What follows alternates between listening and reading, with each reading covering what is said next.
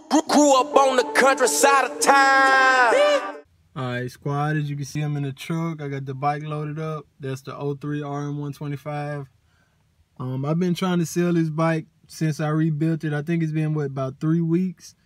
And um, pretty much everybody that uh, text or called me about buying it, they pretty much all flaked out. I had a few trades that I, that I was about to do but everybody had to change their mind. They flaked out on me or they just tried to bullshit me in some sort of way.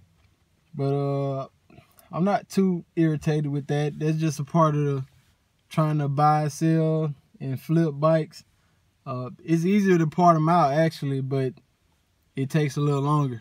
But all of that stuff is besides the point. I'm about to go sell this bike right now. And with the money from this, I'm gonna put most of it towards the 2007 RM125. Um, I was gonna wait until I got paid to start working on it, but um, I really should have sold this bike weeks ago. Really, I shouldn't have even bought this bike.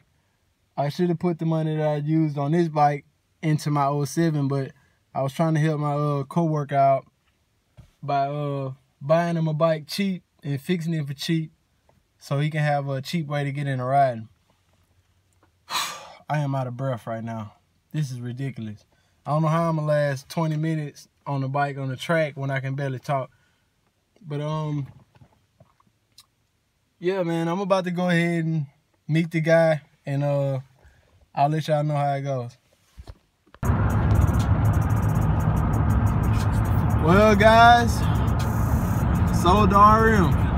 Finally um the guy was the guy was actually pretty cool. Um, we spoke for a minute about some stuff, and uh, I'm about to go home, man. I'm tired, man. I just worked 12 hours, and I haven't went to sleep yet. What time is it? Like it's 10 o'clock. I just worked from 7 p.m. to 7 a.m. Um, I still got about an hour drive.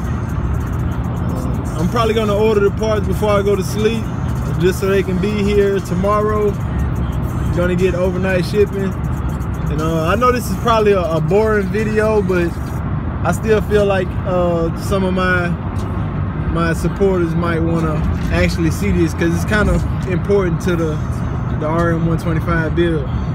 I think after I order the um after I order the plastics, I might order a Bud Racing cylinder head just so I don't have to wait for it.